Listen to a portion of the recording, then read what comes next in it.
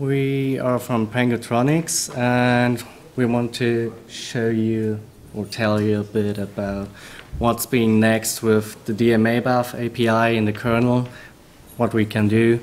And as already said in the abstract, um, we'll go through this with a really simple video pipeline and uh, an example of a GStreamer pipeline.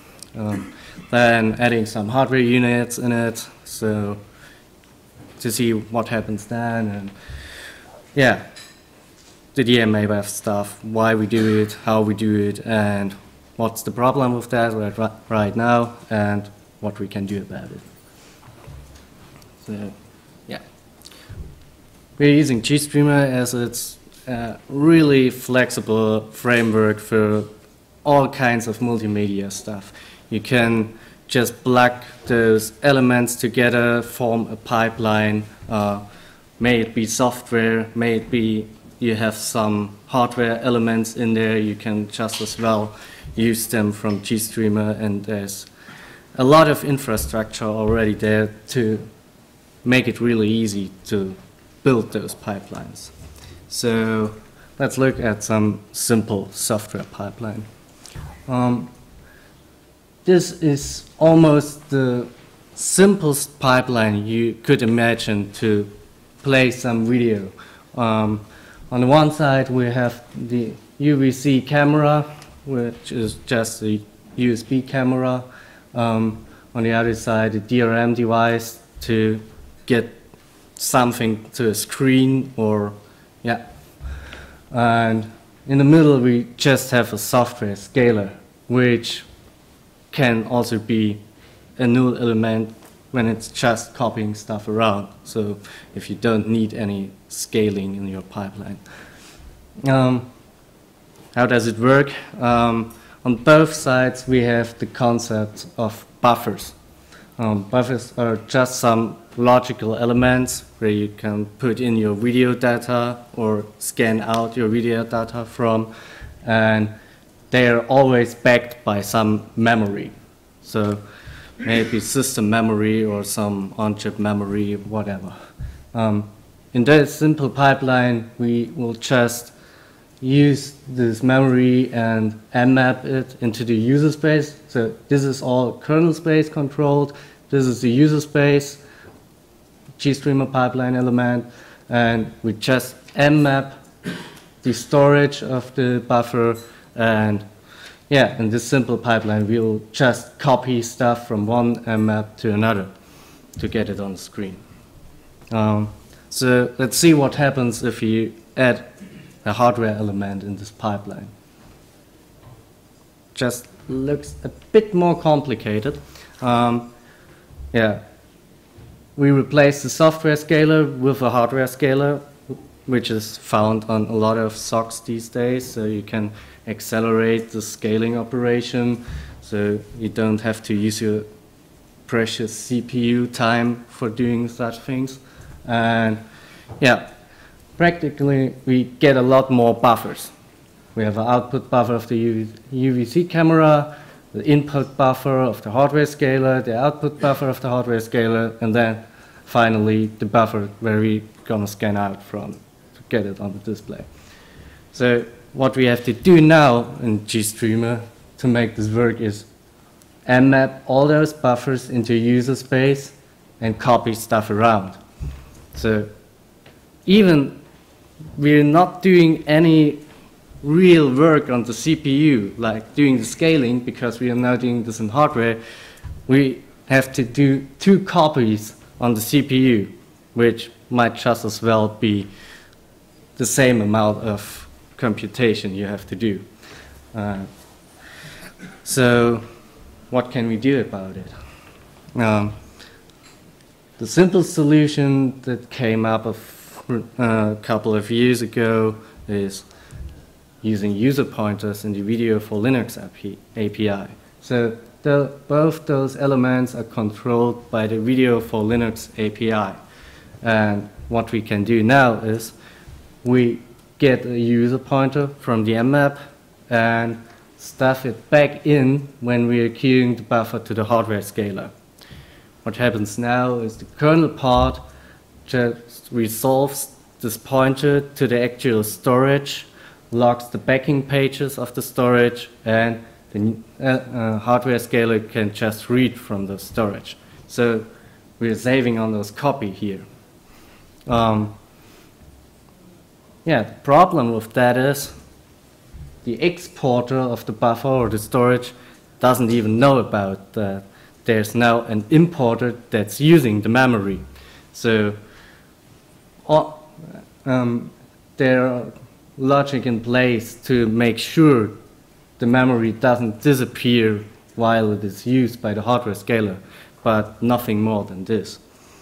So, uh, and additionally to this, uh, the user pointer API is just a single subsystem solution. So it's only usable if both those elements are video for Linux elements.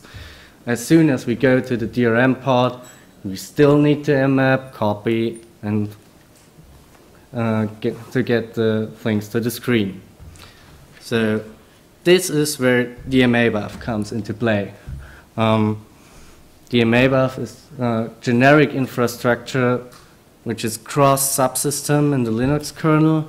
And what we can do now is we explicitly request to export this buffer from the exporter and user space gets handed and file descriptor. And the advantage of this is the you can now actually hang on information and operations onto this file descriptor. So when it gets imported to the hardware element, the scaler here, um, the kernel can actually extract the DMA buffer with, with its operations from the FD again and uh, can call some operations on this. So uh, yeah, we come to that later.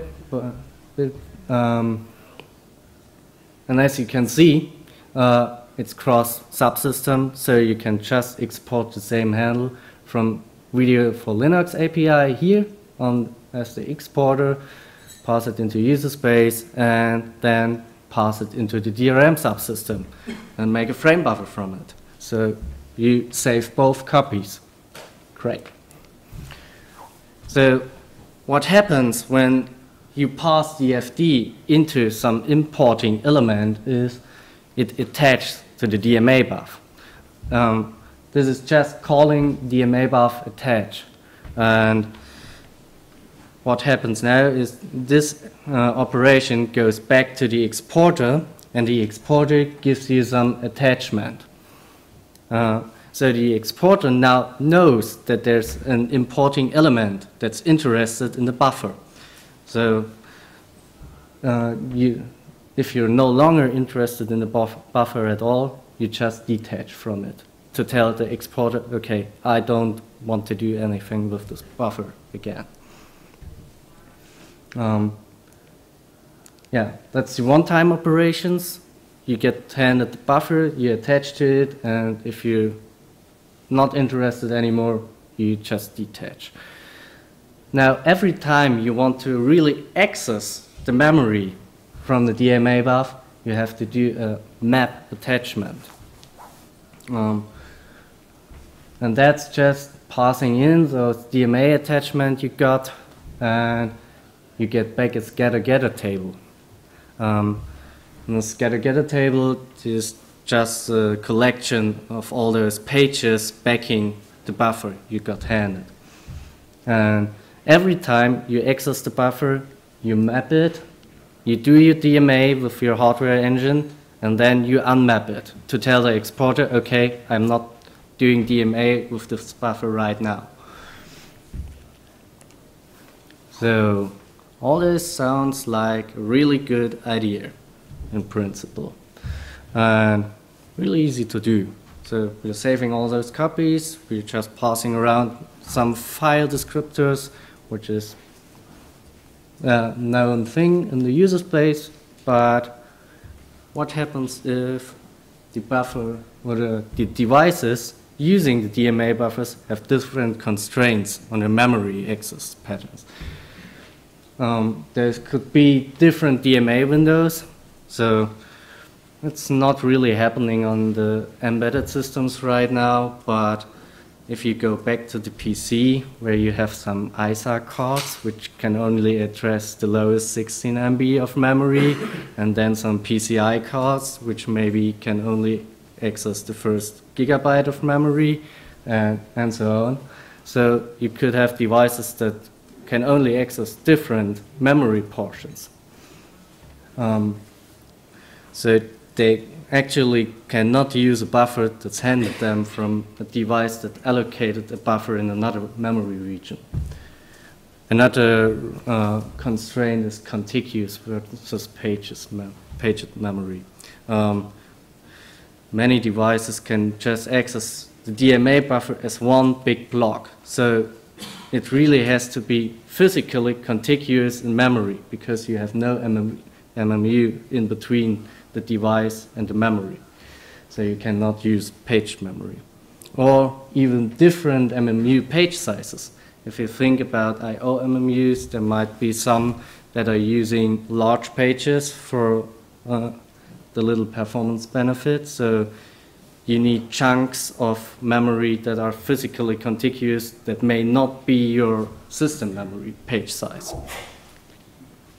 So the really common restrictions we see today on embedded systems are devices that are not able to do scatter-gather DMA on their own. So they can't just fetch from different portions of memory, but only you have a start address and a size, and it fetches only the linear chunk. Um, also, there are more, many times no I/O MMUs available, which could overcome this uh, limitation. So DMA buffers in general have to be physically contiguous in a lot of places on embedded systems. That's not really a problem uh, uh because we have the CMA, contiguous memory allocator, so you can just make sure you get contiguous memory for these devices that needs them. But what happens if you have a mixed system, like this one? Again, a UVC camera, which can do scatter-gather DMA, and so it allocates its buffers as page memory that is not physically contiguous. And then we try to export the buffer, import it again in the hardware scaler, and the hardware scaler can only use contiguous memory. It now tries to attach to the buffer and gets a scatter-gather table that has more than one entries. So it can't work with that. So here the pipeline will break because there's no way this can work right now. Um, yeah, and now to our solution, which is just transparent backing store migration. And as I don't want to take the fame for this because Philip implemented all this, I'll with him standing behind my back, so. okay. Um, we have some prerequisites for this because before we can do transparent migration of any useful sort, we have to know something about the constraints of the devices which are involved. And uh, one of those uh, constraints, which is already commonly known, is the DMA mask inside every device, struct device, which uh, was the, the bits that the actual DMA could, the address bits that the DMA of this device could drive. But on uh, the SOC systems that we are involved with, uh, this is usually thus uh, just 32 bits all set, so not important. But there's already more. Um, inside the struct device, we have the struct device uh, DMA parameters, which had uh, already the um, properties which are not printed in bold, the max segment size and segment boundary mask, which are uh, properties related to the MMUs. And uh, for our prototype, we have uh, just added two more, which is the minimum segment size, which can basically used uh, to get contiguous chunks of a minimum size. For example, if you have a, a 64K MMU, you can put 64K in there and you will get uh, pages of 64 which are contiguous physically in memory. And uh, the max segments, which we right now only use to put either one in there or int max, which either means you have a paged um, device or you have a device which needs physically contiguous memory. So if you put a one in there, there will be only one entry in the scatter gather table, and uh, all devices which need physically contiguous memory can use this. Okay, and uh, now that we can describe those constraints on devices, we need uh, a way to allocate some memory which fulfills those constraints. And um, there we traditionally use the DMA API to get uh, contiguous chunks of memory, and um, we request a size of memory, and we have some uh, parameters, the DMA attributes, which also includes the protection flags. Uh, and we get out of this function a void pointer, which is a, a contiguous virtual mapping uh, in kernel space or some uh, kind of, of uh, cookie, depending on which attributes were put in there. And uh, DMA address, this is uh, a physical start address in device space. So in case you have no IOMMU, it's just the physical address of the memory that is, uh, that is given back by this API. So it's not possible to get generic getter-gather memory, page memory that is somehow distributed out of this API. And uh, we want to change that to have a, a single point where we can put, un, put in our constraints um, and then get out memory that is suitable for the devices which are involved in this exchange. And um, we implemented this right now as a test case only for ARM, only for um, enabled contiguous memory allocators, so it's really just a proof of concept. And uh, what changed is we put in there a scatter gather table to be filled, and we put in there the constraints that the device gave us, for example, but separately. So we could pull the constraints out of the device, but we can also have one device uh, request memory with arbitrary constraints. And uh, the other big change is that we don't get back the DMA address right away because this memory is not allocated for just one device, but maybe we need to map it to two different devices. And depending on whether you have an IOMMU in between them, you will get different DMA addresses. And it does not uh, get the virtual kernel mapping right away. So in case we just want to take a buffer out of one hardware module and put it into another, we don't necessarily need the virtual mapping at all. And this uh, scatter-gather table coming out of this is uh, just a useful uh, structure to describe memory which is um, well, distributed. So you have a list, and the page or link uh, entry contains some magic bits in the first two bits, which is either the table is, is at its end or it is a link to the page, um, struct page. And um, optionally, you can fill the DMA address, and it has the length of, of this part, so it will be able to describe um, pages which are consecutive with just one element. So in case you have a contiguous memory, you have a scatter-gather table with a scatter list with just ele one element pointing to the first page with the length of the contiguous uh, region. Okay, and uh, now that we have this, we need a way to get back the virtual address if needed for the CPU, and we need a way to get the physical address or the, the yes, the DMA address cookie for, for the device to be able to use this RAM. And this API is already existing right now.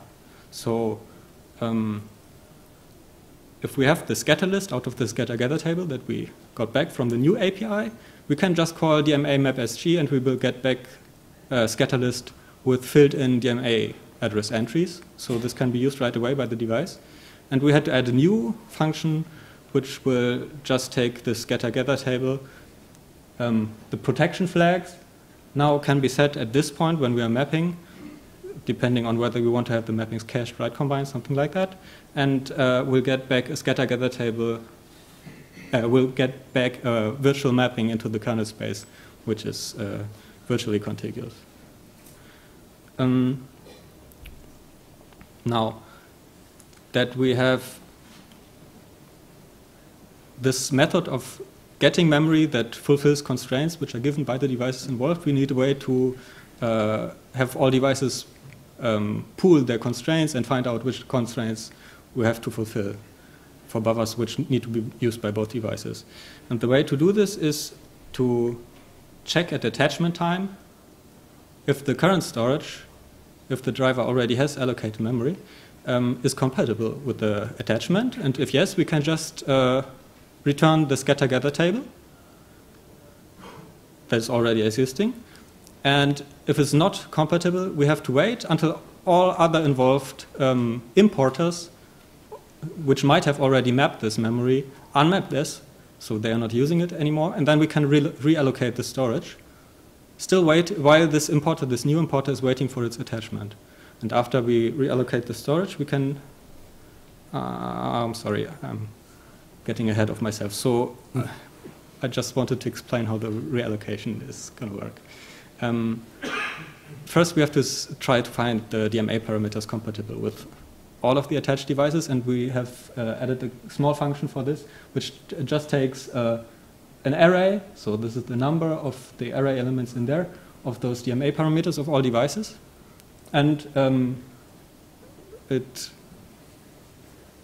well pushes them together and finds, for example, the, the, the minimum of the max size and the maximum of the min segment size and the minimum of the, the number of entries that all the devices uh, support and gives out a new set of constraints which all of the devices involved should support. And if this is not possible, it will give back an error and we are back again where we started before we started implementing all this.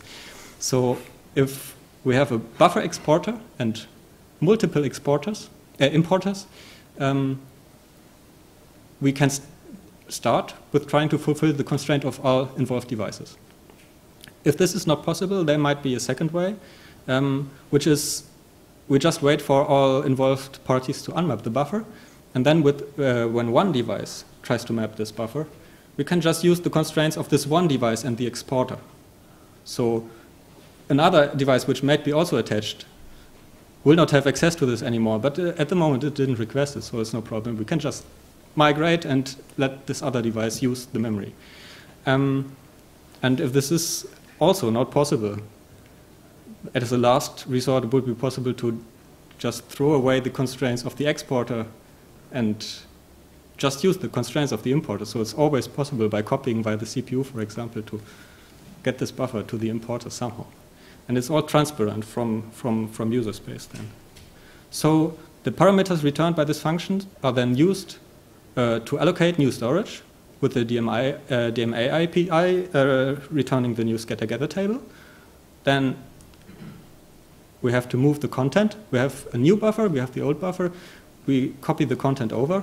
So um, the simplest way to do this is just map both buffers into CPU memory space, do a mem move, and um, if the exporter itself has facilities to move, for example, with the GPU behind MMU, can use splitting. So uh, the exporter always has the choice to implement it in a more efficient way. And in theory, it would be also possible to use dedicated on-chip DMA engines, uh, like some system DMA, to do the migration in a more efficient way.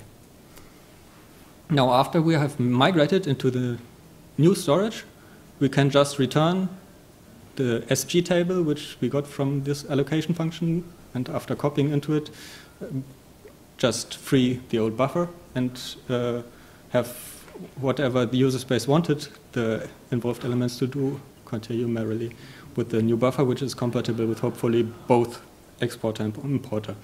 And now I talked about copying a lot, um, the question is, why isn't this that slow? And the reason is any sane user space, like GStreamer, for example, is reusing allocated buffers. Actually, this is a, a main concept of Video for Linux also. So at the beginning, you allocate the buffers needed on the devices, you uh, queue them into the devices, let them fill them, dequeue, queue into the next device, and let them use the memory, and then have the buffers go back. So in our case, if the buffers come from the first device, the UVC, which is requesting itself uh, page memory, which is not compatible with our simple hardware scaler, we will have buffers that are not uh, that the hardware scaler cannot read. So we have to copy them. But in this case, we have three buffers that we are just uh, pushing around. So we will have to copy three times at the beginning. And after this, we have buffers which are compatible, which are contiguous for the hardware scaler, and they get reused, and uh, we will not have to copy anymore.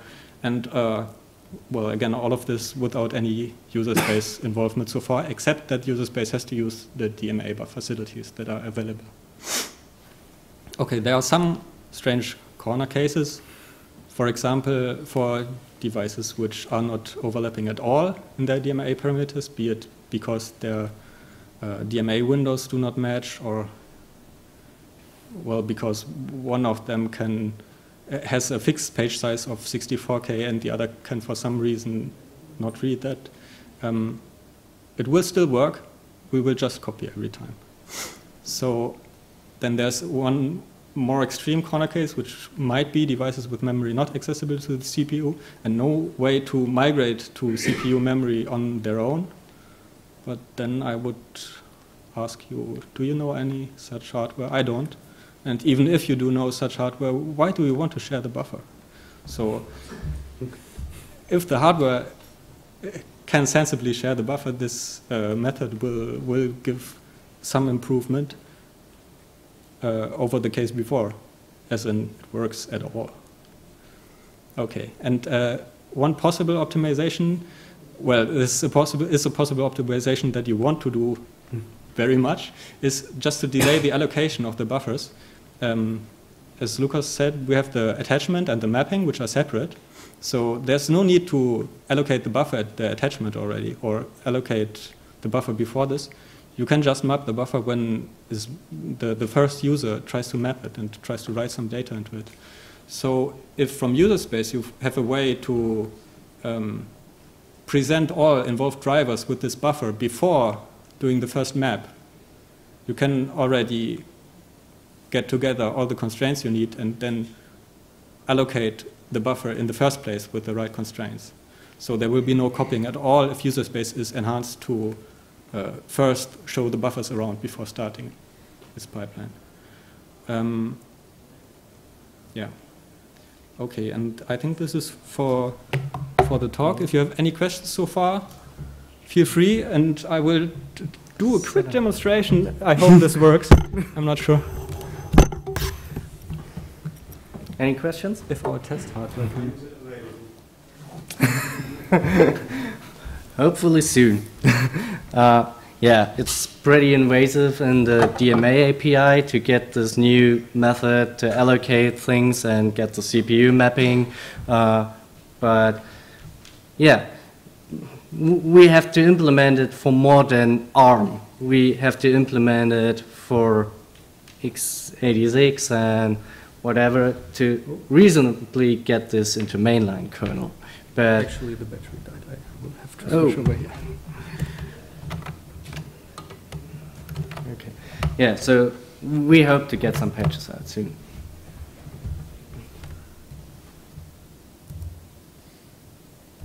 Any other questions?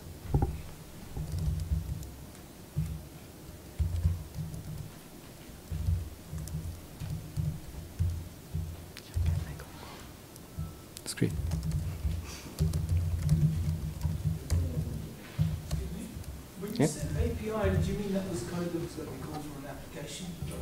No, in kernel API. That's the thing about all this. It's completely transparent to user space. The, the user space only have to use the concept of DMA bufs, and a lot of user space is already is using DMA bufs to share buffers between DMA devices. So is the DMA buf some kind of opaque structure for the user space? It's a file handle. It's DFD, and you just pass it around and pass it into the appropriate I/O controls to the kernel. So you just need to use that, and everything other is completely transparent to user space. All the nasty details, how the memory is laid out and such, is completely hidden from user space. Sorry, can you get me the console on Oh Gott. Warum geht das nicht?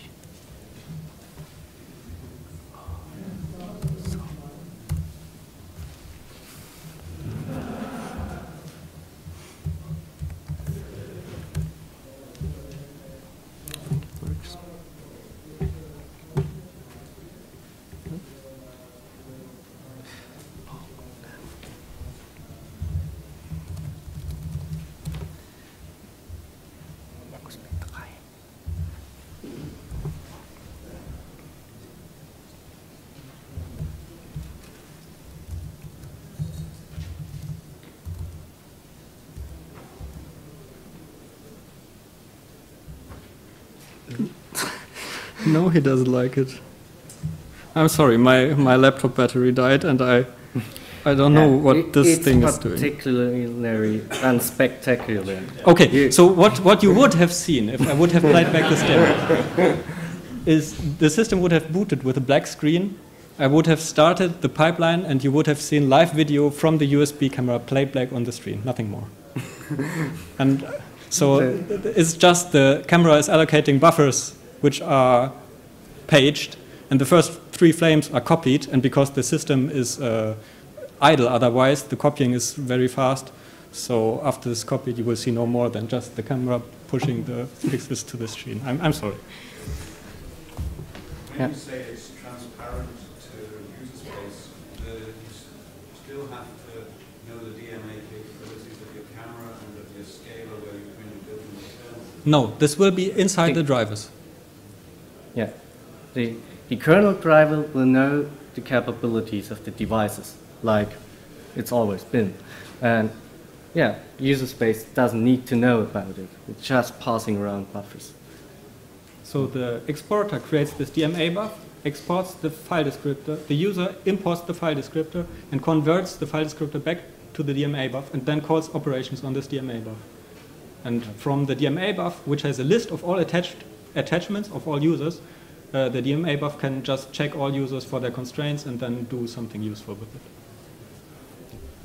And what, what needs to be changed in uh, DMA capable drivers? Uh, Is it the allocation of the buffers only? Mostly, yes. So you, you need to set up the structure we've shown, the, the, we, the device DMA parameters that's not always filled right now for all devices. So you need to fill this. And yeah, then just use the new way to allocate the buffers. And yeah, then for the migration stuff, you, you need to do a bit more. But yeah, basically, for if you're just importing buffers, it's nothing more than filling the structure. The exporter will do all the heavy lifting, and yeah, you, you have to do all this stuff. We we hope to get some useful helper functions for this, so the common path of migrating with the CPU will- will be easy to do for you as the And exporters. on, on, what, plat- on what platform did you start uh, this effort? Uh, this here is an old IMX53 Cortex A8 class one gigahertz. Yeah. So it's it's uh, interesting just for platforms where you might have mixed uh, systems which can uh, mixed IPs which can only use uh, contiguous memory and others which can somehow scatter-gather. This for for example interesting for everything that has simple uh, uh, hardware decoders and GPUs, and you want to push the hardware decoder and CPU memory back and forth. Please.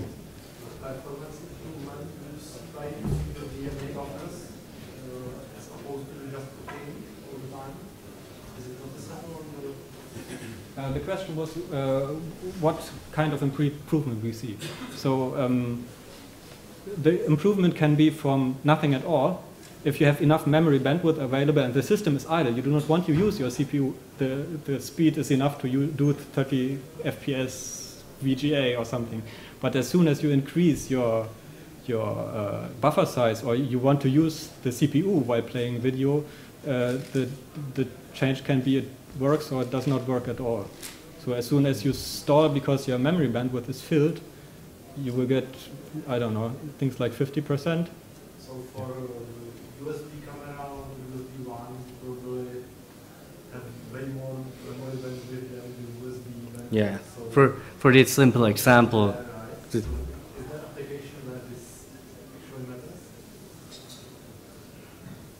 What it- Well, it depends. If you have a fast USB and you have a use case where you want to use all of the memory bandwidth of, of your CPU, and for some reason you want to get uh, the frames quickly out of the camera, so you want low latency, then it's something which is really interesting. If you just want to play back a high resolution USB video, maybe you're better served with the USB camera which encodes itself and then just put MJPEG or H.264 over USB, but then you have latency. So there are use cases for this, maybe not everywhere. Yeah. Actually, the, the uh, other method to handle all of this is uh, do what the Android people are trying, which is this memory allocator, like Ion, for example, uh, where you have a general, uh, general place which knows beforehand where your buffers have to come from. But we wanted to avoid this. So uh, for Yeah. development, it's, it's just easier to pipe everything together, and maybe it doesn't work uh, as fast as it possibly can for the first few frames if you don't do everything right, but at least it works at all. So it's Yeah. uh, mostly interesting for bring-up for us. And if you then have a proper user space, so we hope to get patches into GStreamer eventually, which can do this, this will be fast all the time. Yeah. The thing is, uh, the ion allocator in Android assumes all this knowledge about DMA constraints and whatever is into user space. And we really want to keep this knowledge into the kernel and all those fuzzy bits. And yeah, it's really easier for the user space developer if you're just dealing with a generic interface to the kernel and don't have to worry if it. Yeah, you, as we have shown, you have some uh, possibilities to optimize things. If you are passing around the handles before and before you using them, you can delay the allocation and make it even faster. But yeah, basically, it will just work if you plug things together like you do in GStreamer or other applications. And also for generic user spaces like uh, the Weston compositor, we have the same problem. We have a GPU that's doing the compositing and putting, spitting out paged memory because it has an IOMMU. So the memory there gets allocated in paged form.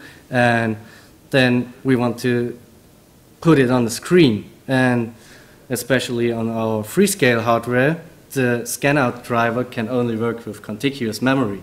So, yeah, you have to have a way to just pass the handles around and make it all work in the kernel somehow.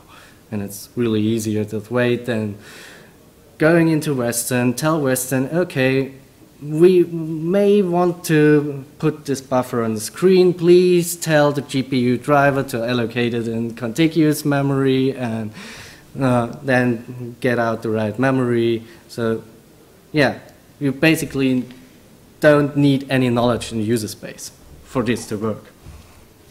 Uh, we think this is a real advantage over what is there currently. Any more questions?